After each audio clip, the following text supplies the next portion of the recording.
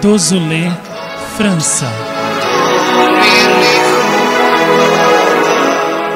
Situada na Baixa Normandia, a 25 quilômetros de Lisieux, onde vivia Santa Teresinha, Dozulé vê sua população de 1.500 habitantes crescer a cada dia. A rodovia que vai de Coancan ali nos conduz diretamente pelo último pedágio antes da capital de Calvados. Construída ao redor da avenida principal, a aldeia, modesta em si mesma, está cercada de acolhedores pequenos sítios rurais típicos do país de hoje. É a terra das belas fazendas de estilo característico da região, dos aras e dos cavalos de corrida sem conta. As grandes praias de Olguete, Cabor e Deauville estão a pouca distância e atraem muitos turistas.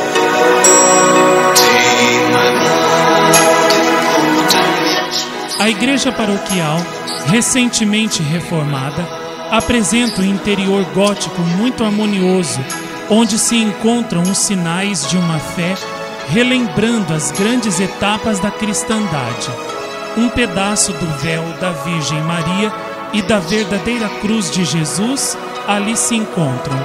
Uma pietá dolorosa cercada das estátuas de Joana d'Arc e de São Miguel, e sobretudo de Nossa Senhora de La Salette, objeto de uma peregrinação anual nesse lugar.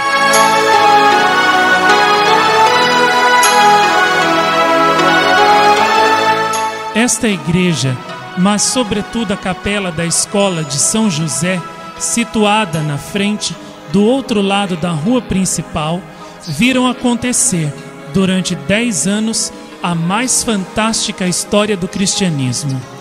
Longe de qualquer exagero, eis a narração que comoveu muitas vidas, levando-as para a paz. As aparições tiveram lugar entre os anos de 1972 e 1982, portanto por 10 anos. A maioria das vezes na capela da escola São José e apenas três vezes na igreja paroquial.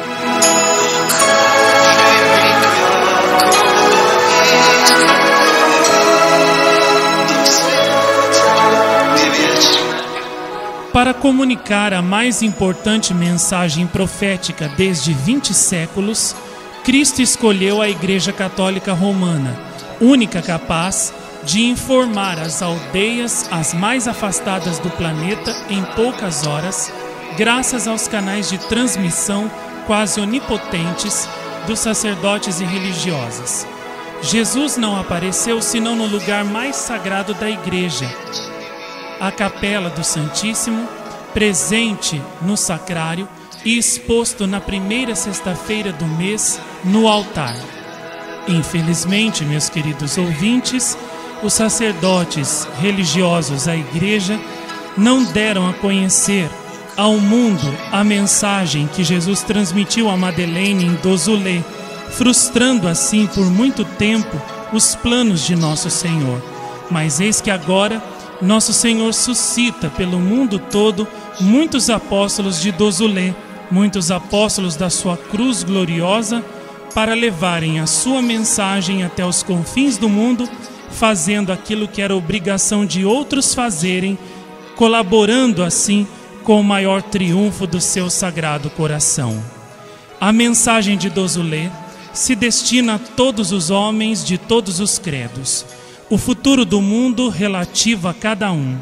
Ela representa uma missão importante que nosso Senhor veio no nosso tempo confiar à nossa geração. Na sua mensagem para salvar os homens, o Senhor dá a missão a cada um de nós de levar os seus apelos ao conhecimento do mundo para informar os fiéis do mundo inteiro da iminência da grande tribulação anunciada no Evangelho para a nossa geração antes do fim do século. Em segundo lugar, anunciar a aparição próxima e milagrosa do sinal da cruz no céu aos olhos de todas as raças, que porá fim, milagrosamente, à loucura humana do pecado dos homens do nosso tempo.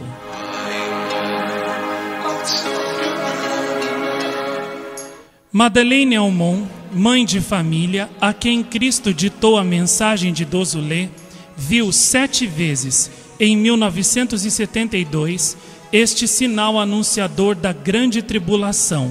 São Mateus fala disso no capítulo 24 do seu Evangelho. Então aparecerá no céu o sinal do Filho do Homem, e todas as raças da terra baterão no peito. Terceiro, Jesus anuncia a nova evangelização do mundo que seguirá esses dias de aflição e a unificação de todos os cristãos no seio da Igreja Romana, purificada e reestruturada pela tribulação. Quarto, a vinda de uma seca mundial total e calamitosa que profetiza igualmente o capítulo 11 do Apocalipse de São João durante 42 meses precedendo a volta de Cristo. A parousia, ou volta do Messias, aconteceria logo depois da evangelização do mundo inteiro e depois da seca geral de três anos e meio, segundo a profecia de Cristo. Jesus anuncia sua volta gloriosa e o lugar geográfico exato desta volta, ali em cima do monte de Dozulé, onde apareceu várias vezes a cruz gloriosa, sinal do Filho do Homem. Jesus anuncia no fim da mensagem, com palavras cheias de simplicidade e majestade, a realização da esperança dos profetas desde Abraão, a formação de um novo mundo substituindo o nosso, uma nova terra e novos céus, onde reinarão a paz e a alegria. O alvo de toda a humanidade judeu-cristã desde seis mil anos, é o cumprimento da revelação de São João no Apocalipse, o triunfo do amor prometido antes do ano 2000. Satanás será destruído, não restará senão paz e alegria, disse Jesus em Dozulé.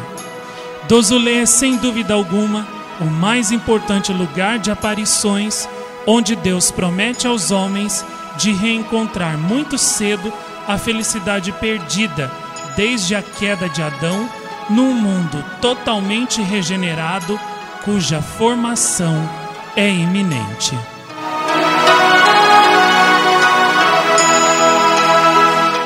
Vamos agora, meus queridos ouvintes, conhecer a lindíssima história das aparições de Dozulé na França para a vidente Madeleine Almond.